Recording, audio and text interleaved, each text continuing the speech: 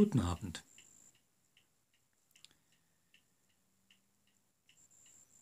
Wort Gottes von Menschen überliefert.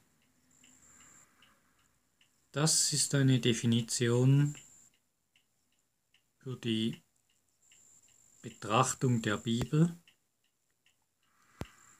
die ich im Umfeld der reformierten evangelischen Kirche gehört habe.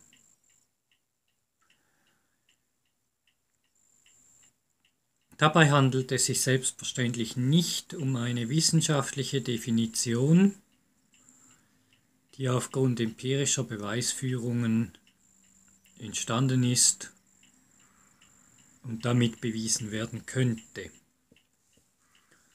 Oder zumindest, wenn wir es, wenn wir uns auf den ersten Teil der Aussage beziehen, ist es das nicht.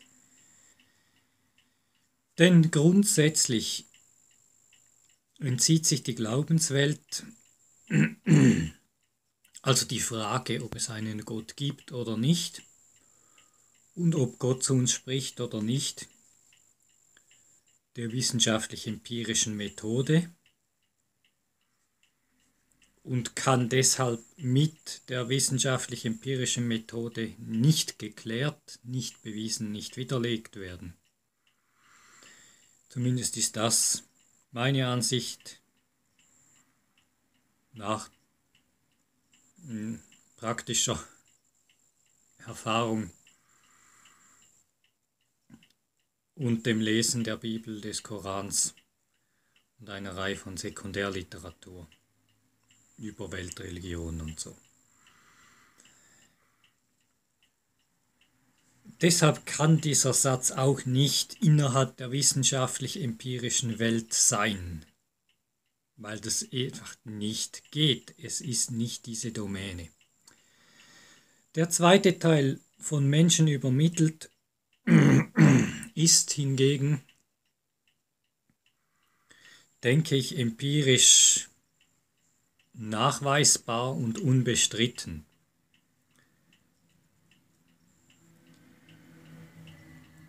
Das Ganze zusammengenommen ist, zumindest das meine Interpretation,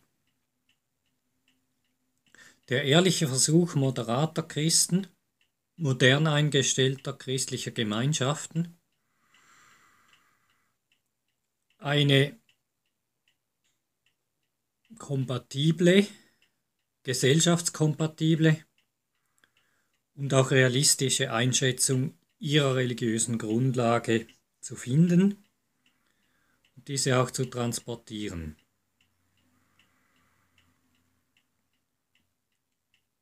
Denn damit wird eingestanden, dass die Übermittlung in der Bibel unvollständig sein kann oder schlicht ist. Und dies legt jede, jede logische Betrachtung der Bibel legt das nahe. Wenn man überlegt, wie oft das übersetzt wurde, dass die Urquellen oft nicht existieren, dass sie teilweise in Sprachen geschrieben sind, die ältesten Quellen, die man hat, die eine unvollständige Schrift hatten, in der nicht immer eindeutig ist, welches Wort gemeint ist, in dem mehrere Lesarten vorkommen, etc. Über die ganze Übersetzungsgeschichte in mehrere Sprachen, die ebenfalls teilweise nicht präzise sind. Über die Präzision von Aramäisch weiß ich nichts. Die Präzision von Altgriechisch ist nicht die von Deutsch. Selbst Deutsch überlässt immer wieder, immer wieder Spielraum in der Interpretation.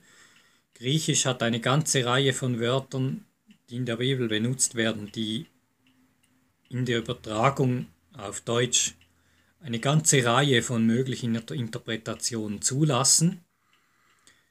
Es ist völlig klar, dass politisch gefärbte Bibelübersetzungen existieren. Es ist auch klar, dass eine politische Färbung schon bei den ursprünglichen Evangelien stattgefunden hat.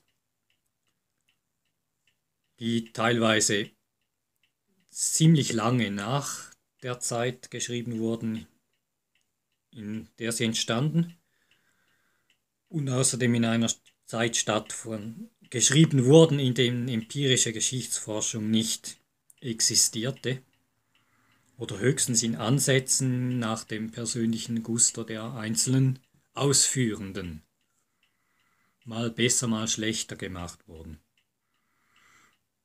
Dies alles ist, denke ich, genügend Beweis dafür, dass zum Beispiel Urteile aufgrund eines Textes in einer bestimmten Übersetzung der Bibel nicht gültig sein können. Und deshalb diese Idee. Selbstverständlich kann die Religion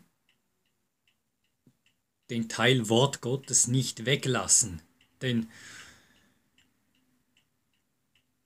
eine Religion basiert auf einem Gott oder mehreren oder auf einem übersinnlichen Wesen, um es irgendwie so zu sagen, wenn wir den Buddhismus mit einbeziehen wollen. Doch reden wir mal von theistischen Religionen. Die sind theistisch, Theos heißt Gott, weil sie einen Gott haben. Deshalb ist es nicht möglich, eine theistische Religion zu führen, ohne die Existenz eines Gottes anzunehmen. Doch ich glaube, es ist doch der sehr ehrliche Versuch, der auch gewiss innerkirchlich nicht leicht war, klarzustellen, dass das, was wir in Form der Bibel heute auf dem Tisch liegen haben,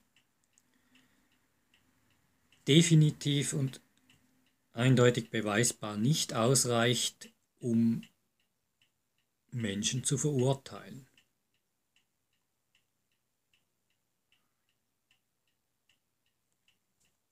Und als solches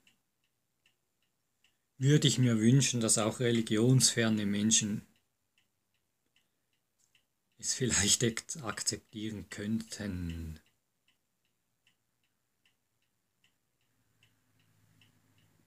Hintergrund wie üblich. Ich habe auf diesen fraglichen Satz innerhalb der sozialen Medien hingewiesen und mich damit explizit gegen jede Form von Fundamentalismus gewendet, ob sie von religiöser oder nicht religiöser Seite kommt,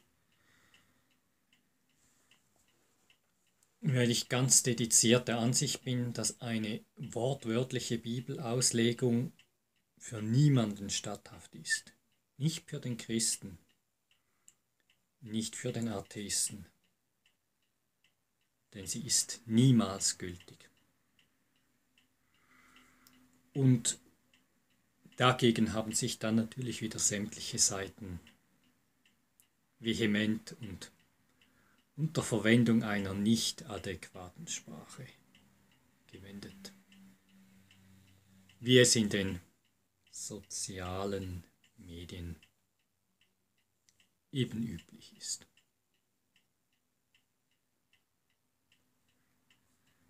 Danke für alle, die mir zugehört haben.